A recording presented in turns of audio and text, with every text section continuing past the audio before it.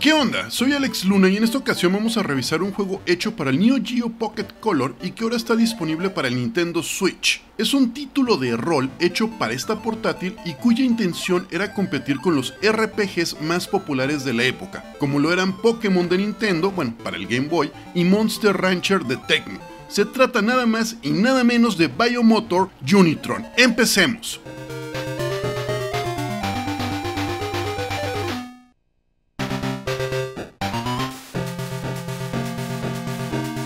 Entiendo que el nombre Biomotor Unitron puede no sonar tan conocido, pero se considera uno de los mejores juegos del Neo Geo Pocket Color, la cual es una consola que no fue tan popular, pero que contó con muchas joyas que podríamos considerar como escondidas.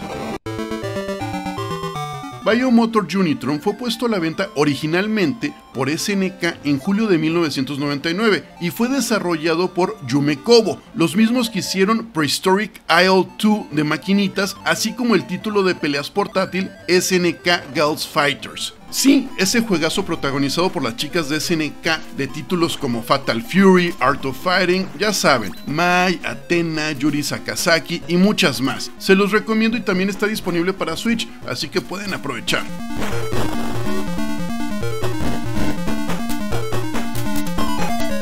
Pero bueno, entremos de lleno a Biomotor Unitron. La historia se lleva a cabo en un planeta llamado El Sea, el cual hace 199 años fue golpeado por un meteorito y gracias a él los habitantes obtuvieron unos cristales poderosos con los que pudieron realizar avances tecnológicos. Estos avances llegaron al punto que permitieron el desarrollo de unos robots llamados Unitrons con el fin de ponerlos a combatir y estar bajo su protección y así facilitar las guerras, pues.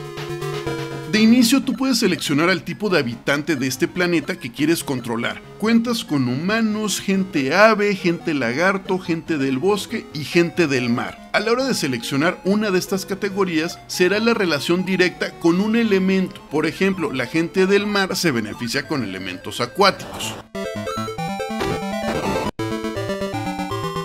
Una vez que seleccionas a tus personajes, el principal es quien controla al Unitron y el segundo es quien se encarga de modificarlo, de mejorarlo conforme avanzas en el juego. Empiezas en la ciudad Rafiase, Digamos que se convierte en tu centro de operaciones, cuentas con un taller para aplicar mejoras a tu robot, hay una tienda donde puedes conseguir accesorios y material, también hay una arena, o le podemos decir estadio. Este estadio es donde participas en combates para subir de categoría. Empiezas como novato y puedes ir subiendo tu estatus ganando competencias. Así es como se resume el punto medular del juego. Obtienes experiencia, mejoras tu Unitron y participas en estos torneos de combate para subir de rango hasta llegar a ser el maestro de maestros.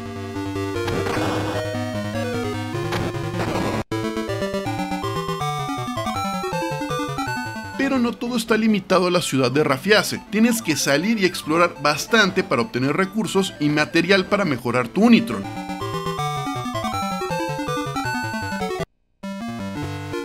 Así como para subir tu nivel de experiencia. Tienes cuatro territorios por recorrer para juntar todo lo que necesitas. Tenemos la zona boscosa, la cueva en el fondo del mar, la montañosa con el laberinto de piedra y las ruinas del viento. Básicamente cada zona funciona como un calabozo tradicional de juego de rol y cuentan con 7 áreas para recorrer. Cada que entras a la misma zona, su distribución aparece de manera aleatoria para que no te la aprendas. Conforme la recorres te enfrentas a enemigos en combates por turnos, en donde puedes atacar, usar ítems, recargar tu energía o bien intentar huir. El chiste de cada área es encontrar unas escaleras para pasar a la siguiente. Cada zona se pone más difícil que la anterior gracias a que la fortaleza de los enemigos va incrementando. Obviamente las recompensas se ponen mejores.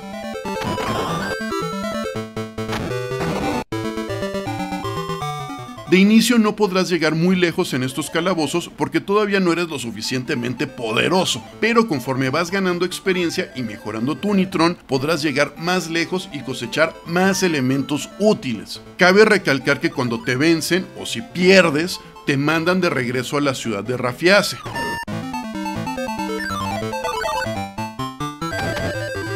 Todo lo que vas juntando lo puedes combinar entre sí para forjar armamento nuevo. Los puntos que puedes personalizar de tu Unitron son los siguientes. La estructura, sus dos brazos, su núcleo, sus dos piernas, así como dos accesorios adicionales, los cuales pueden ser armaduras. Estar creando nuevo armamento y buscar mejoras para cada una de estas partes resulta adictivo, además de que puedes hacer cambios para adaptarlo a cada zona del mapa. Si quieres ir al bosque, debes buscar accesorios que sean compatibles con madera. Si vas a la cueva en el fondo del mar, debes contemplar aditamentos que sean marinos y así nos adaptamos a cada zona.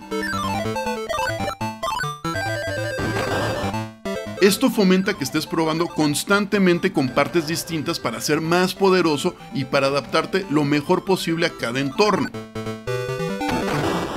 Si ya has probado otros juegos de la colección Neo Geo Pocket Color Selection, se incluyen varios detalles para hacer tu vida más fácil. De inicio, si te sales del juego, a la hora de regresar te deja justo en donde te quedaste. También puedes rebobinar por si cometiste un error, cuentas con el manual original para visualizarlo en la pantalla y con diferentes marcos que representan varios modelos de la consola portátil.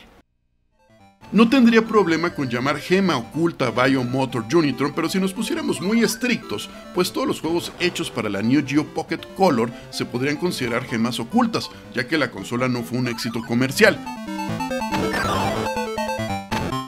Por otro lado, ahora que tenemos disponibles de manera digital varios títulos de esa consola, me sigue sorprendiendo la cantidad de juegos de primera que conformaban su catálogo. Biomotor Unitron tal vez no tiene el renombre de otros títulos disponibles para la portátil de SNK como King of Fighters R2 o el mismo Gals Fighters. Es más, podemos decir que mucha de la fama del Neo Geo Pocket Color es porque se enfocó en el género de peleas y lo hizo a la perfección, pero gracias a este juego de rol tenemos un título adictivo que nos muestra que el catálogo de la consola tiene variedad. Yo no soy mucho de RPGs, pero me la pasé muy bien con Biomotor Unitron. Su ritmo es bastante rápido, los combates son dinámicos y te la pasas de pelea en pelea. Creo que es un juego de rol ideal para los que no somos tan conocedores de este género.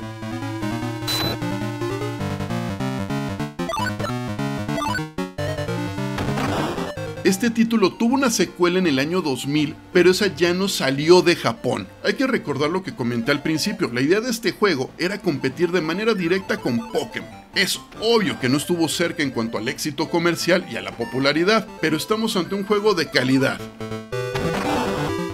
Ustedes llegaron a probar Biomotor Unitron, me encantaría saber qué opinan y qué referencias tienen de él, sobre todo porque yo lo acabo de descubrir con este relanzamiento digital para Switch y siendo sincero, no recuerdo haberlo visto cuando salió para el Neo Geo Pocket Color. Vaya, no recuerdo haberlo visto en reseñas, en revistas, no lo tengo tan presente. Espero que este video haya sido de su agrado, ayuda mucho si se suscriben al canal, activan las notificaciones y lo comparten con sus amigos. Por cierto, YouTube ya nos habilitó la opción de super gracias, la cual sirve como propina y ayuda mucho para que sigamos haciendo videos, ya saben, para conseguir juegos, mejorar el equipo, etc. Claro que también lo pueden ver como si me estuvieran disparando una cerveza porque les gustó el video. Como siempre les agradezco a todos por su apoyo, por sus comentarios, por sus likes y por aquí nos estamos viendo. Hasta la próxima.